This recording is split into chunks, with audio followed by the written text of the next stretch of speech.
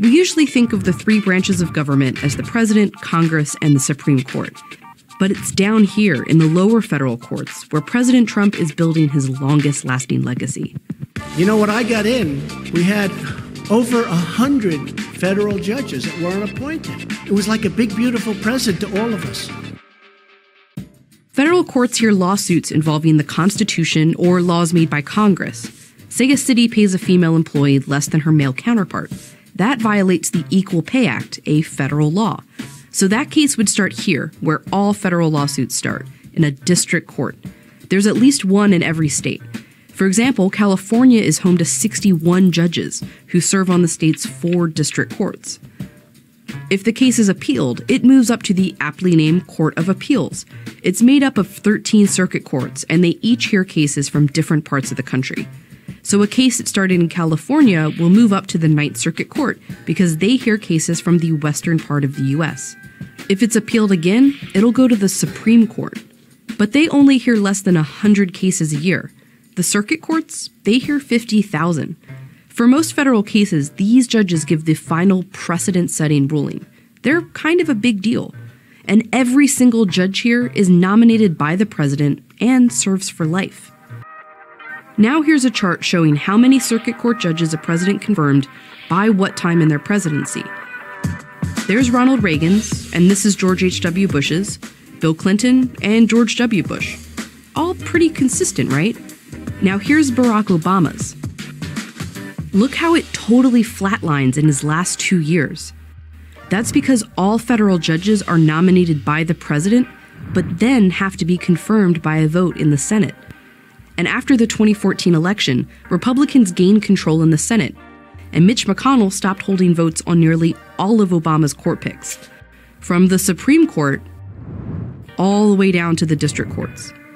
So when Trump took office, not only did he have a ton of vacant seats to fill, he had a Republican controlled Senate to help fill them quickly. In fact, Trump has appointed more circuit court judges in the first half of his first term than any other modern president. But his judges are different. This is where all the judges nominated by each president fall on a scale between liberal and conservative, determined by their past political donations. And here's the median score for those judges.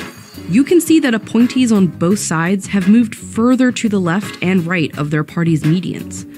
But Trump's median pick is more conservative than Obama's was liberal, and more conservative than his Republican predecessors.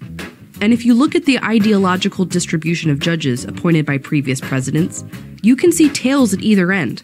Both Republican and Democratic presidents appointed some judges that leaned the other way, but Trump, not really. Traditionally, presidents need to work with the Senate. If a judgeship opens up in, say, Texas, the nominee would need the approval of the Texas senators. No approval, no vote.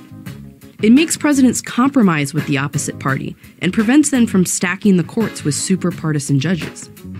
That's why these past presidents had to have a spectrum of judges. But when Trump nominated two men for seats on the Ninth Circuit, the court that keeps overturning Trump's executive orders, the two Democratic senators from California opposed both of them, calling them far outside the judicial mainstream. One because of some controversial writings in college, and the other because of his prior work as a defense lawyer including for oil companies, where he argued climate change isn't real.